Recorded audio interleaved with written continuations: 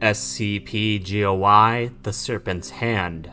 Serpent's Hand Welcome Letter. Welcome. To anyone willing or able to read this, this is for you. We are the Serpent's Hand.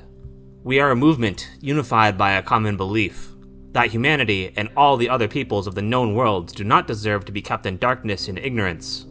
The Serpent's Hand doesn't coordinate as a group. We are a loose collection of splinters. Our enemies tend to misunderstand this. For instance, the Foundation's obsession with LS, a person who most of us have never met.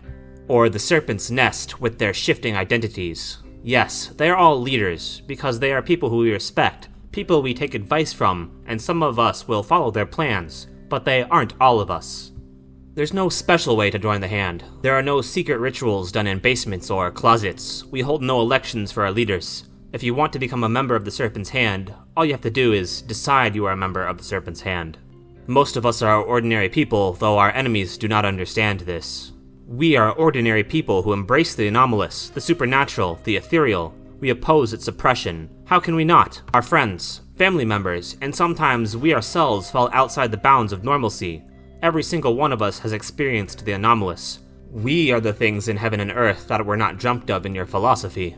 To the heralds of traditional power such as the SCP Foundation, the Global Occult Coalition, and most world governments, the anomalous is a slowly spreading poison, threatening to destroy everything civilization has worked so hard to create.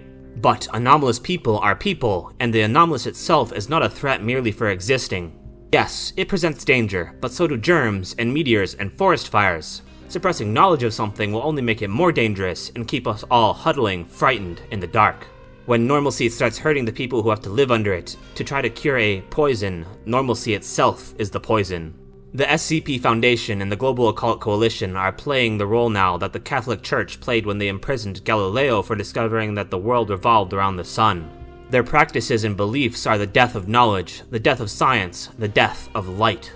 Take the Wanderer's Library as an example, the place where the Serpent's Hand makes its home. The library is the largest repository of knowledge the worlds have ever seen, the holy grail for those seeking to understand the preternatural. And yet, both the SCP Foundation and the Global Occult Coalition have been thrown out of this place that welcomes all. Why? Because they tried to destroy it or take it for themselves so no one else could have it. Because of this, they are condemned to blunder in the dark. Everyone reasonable agrees that people should defend themselves against supernatural threats. But how can you protect yourself if you burn and bury the books and imprison or execute the people who could tell you how? Would you try to protect yourselves against nuclear weapons by telling everyone to pretend they don't exist? The Serpent's Hand were barred from the library too, once. There was a reason we could not rediscover it until 1967. But no more. We've learned from our mistakes. To any members of the GOC and the Foundation who may read this, we are growing so large because of you, we were more like you once, just one more inbred secret society hoarding occult knowledge to ourselves. Then the Foundation began increasing its scale. There have always been jailers, but not like this, not in millennia. Yet still, they kept themselves in the dark, with only their leaders ever knowing the full extent of the world on Earth outside of the everyday, so they were tolerable for a time. But then came the Seventh Occult War, the Foundation Civil War, the rise of the Global Occult Coalition, the Book Burners, the Big Brother, and the grand scale campaign against the paranatural community that followed. The coalition became the oppressive shelter to which the cowards of the paranatural community fled. A shame that there were only 108 slots, and only for human dominated organizations. Or perhaps not a shame at all. Our old selves did not seek membership then, and we are fortunate for that. So the serpent's hand rose up, not out of desire nor fear, but out of a clear and pressing need to keep all peoples from being chained forever in the dark. We, the serpent's hand, ask both of you this. How many KTEs does the Global Occult Coalition catalog? It must seem like the supernatural is a vast hydra, two new heads sprouting for each that is cut off. How long will you keep cutting? How many SCP items does the Foundation contain now? 2,000? 3,000? 5?